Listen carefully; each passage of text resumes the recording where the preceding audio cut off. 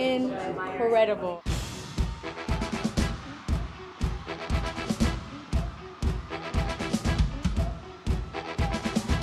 I watched the show two nights in a row. She was incredible. I'm so proud of her.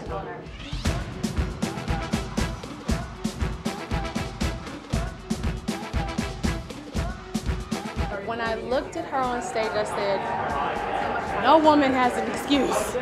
We don't have any excuses, you know what I mean? I think that it's just more so about taking care of your baby, taking care of your body.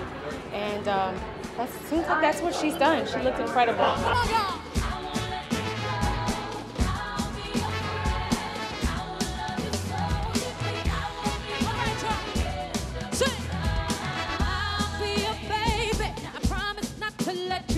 It lasted two hours, jumping, splitting, doing craziness on the stage. And she looks incredible. I'm very proud of her. Baby, come on, get up on it. Show me that you really want it. I wanna be the one and love you, baby. Let's go. Let's go.